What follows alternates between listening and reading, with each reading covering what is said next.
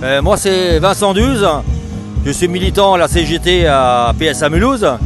Et aujourd'hui, on a trouvé important d'être ici aujourd'hui.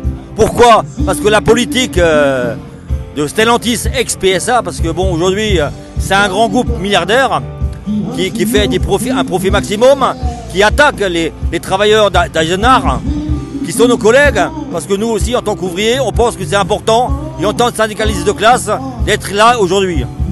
Non mais, la, question aujourd'hui, on a les, on, a les mêmes, on n'a pas seulement les mêmes intérêts, on a les mêmes problèmes. Parce qu'aujourd'hui, d'abord, c'est les, les, les- suppressions d'emplois. Il y a eu en France, avant la fusion, il y a eu plus de 25 000 suppressions d'emplois en France déjà, dans les usines.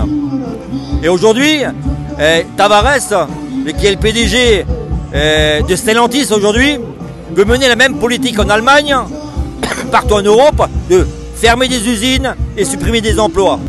Moi, je pense que c'est important aujourd'hui. C'est aussi une des raisons de la présence aujourd'hui, c'est de créer des liens avec les ouvriers, des ouvriers d'Opel, avec les syndicalistes et les ouvriers d'Opel, pour créer un, plan de bataille. Nous on appelle ça un plan de bataille.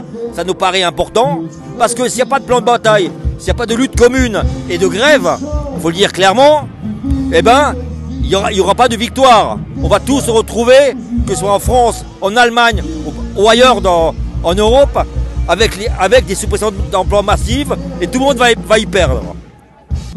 Mais moi, ce que je veux dire, moi, je pense qu'aujourd'hui, d'avoir, d'avoir cette, cette première rencontre qui est super importante déjà, parce que nous aussi, on a des sites comme le site de Douvrin, qui va aussi, qui est menacé de fermeture, et d'autres sites vont arriver en France.